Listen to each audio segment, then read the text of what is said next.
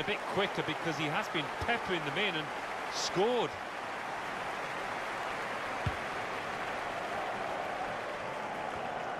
Palacios. Well read by the defender. Now this is an interesting attack. That's proper clearance.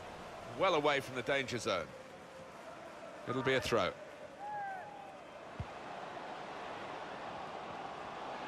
Oh, they've shown him the inside. And here's the shot. And he scores spectacularly.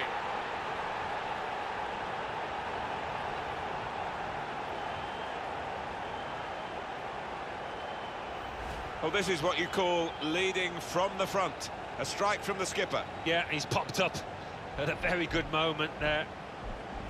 Another angle on it here.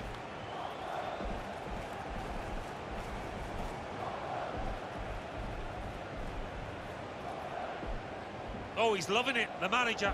He's seeing his team playing really well, just what he was asking for.